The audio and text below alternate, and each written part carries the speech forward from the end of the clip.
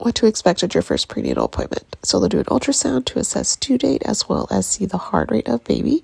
Then they'll do a head to toe assessment of you, so putting a gown on is usually indicated, as well as doing past medical history. They will need to do some lab work, and that may include a speculum exam if you need a pap smear or to do STI testing. They'll also go over expectations of your birth location, so come ready with questions. Follow us for more tips.